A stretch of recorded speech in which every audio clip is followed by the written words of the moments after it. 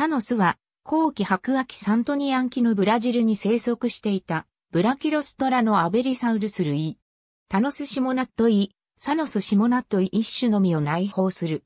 サノスとも表される。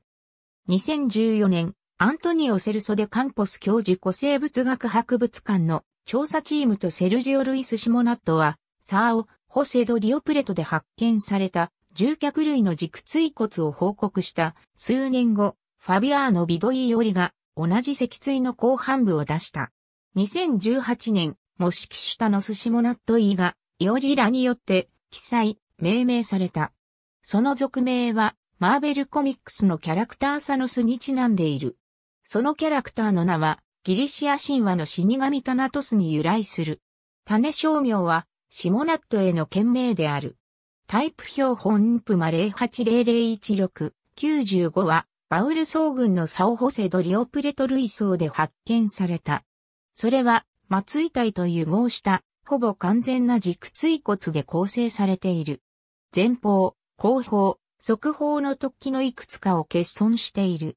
その標本は、ブラジルのモンテアルト古生物学博物館に所蔵されている。タノスの全長は約5.5から6.5メートルと推定されている。標本が不完全であるにもかかわらず、多くの固有の形質が確認できる。発達したキールが腹側表面で後方に向かって広く深くなる。中心部の各側面の比較的広い壁によって分離された側面の2つの小さな穴。これらの特徴を考慮すると、タノスは当時の他のアベリサウルスよりも派生していた可能性がある。2018年のヨリラの系統解析で、タノスはアベリサウルス科内で他のカルノタウルス赤と共に大きなポリトミーを構成するとみなされた。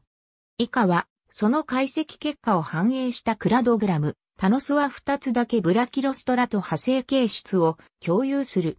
軸椎骨の前方関節面が後方関節面の2倍以上の高さ。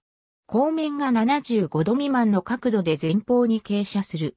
タノスは、イビラで、脊椎発見されたメガラプトラと思われる、不明の大型獣脚類と共存していた。